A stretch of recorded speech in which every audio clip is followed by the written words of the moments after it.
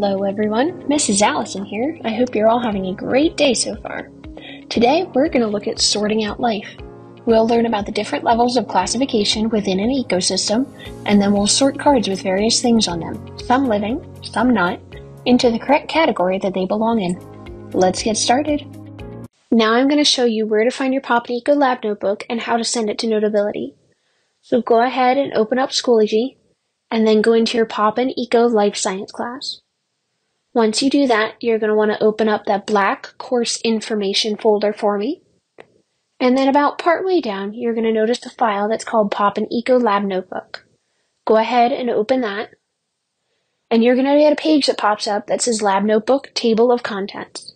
It is 78 pages, but we won't use them all. Now, up in the top right hand corner, there's a box with an arrow. Go ahead and open that and then click on the icon for Notability, and it should give you a box that pops up that says Send to Notability. You're going to want to click on Create New Note.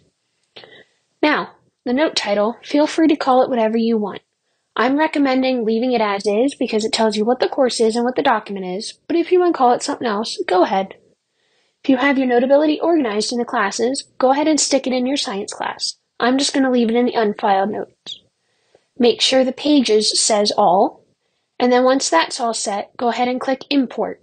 You should get a box that pops up that says File Sent to Notability. So once you've done that, go ahead, click on Done, and then close Schoology and go and open up Notability for me. You should notice the document we just sent, that lab notebook, should be right there for you, ready to go.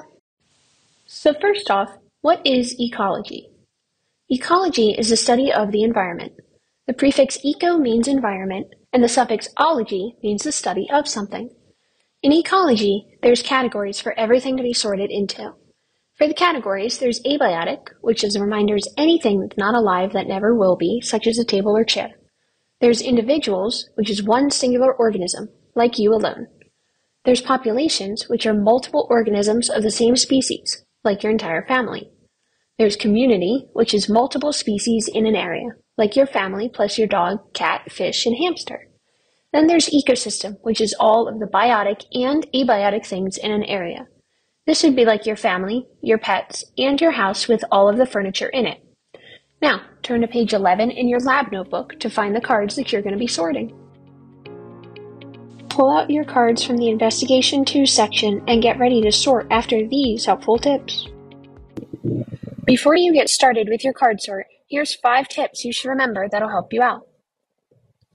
Tip 1 Lay your cards out under their headings as you go along so you can see the similarities to the cards that you're attempting to sort.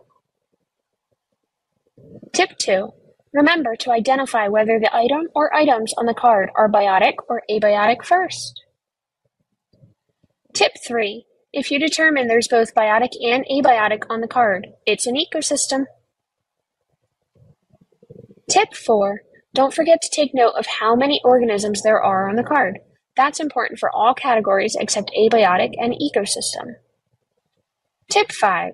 Also, make sure you take note of how many different species there are on the card. That's the difference between population and community. Well, that's it.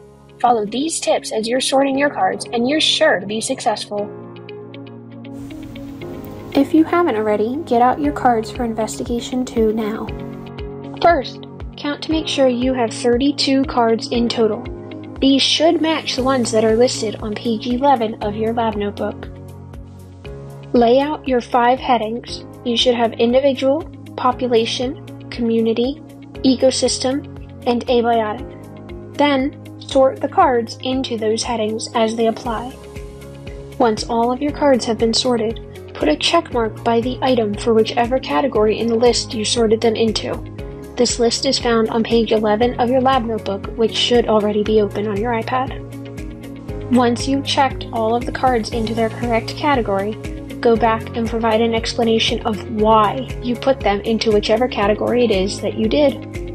You may use the same explanation for all of the cards in that one category. As an example, you should have non-living for all of the cards that you sorted into the abiotic category. Don't think you have to come up with a different explanation for all of the cards just because they're all in one category. Today's lesson, you learned about the different classification levels within an ecosystem. including individual, which is a singular organism, population, which is multiple organisms of the same species in an area, community, which is multiple species in an area, ecosystem, which is all of the biotic and abiotic things in an area, and abiotic, which is anything that's non living.